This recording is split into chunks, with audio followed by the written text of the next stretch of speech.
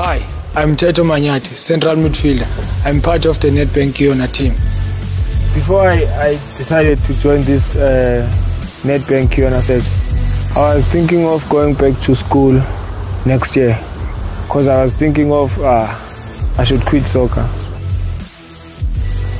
In every in every person, I take a positive thing.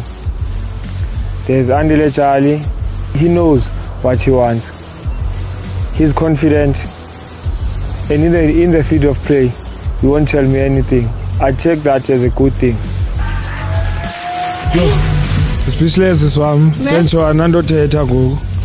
Qha ndiza kubonga uthixo. Ngayo yonke into andenzele yona. Kuba ke umntu bendixhase ngayo umama wam akasekho so ndijonge kusister wam omkhulu ngoku yonke into nefemeli yam enkosi You've made them proud, Samba Sam. Go get your jacket.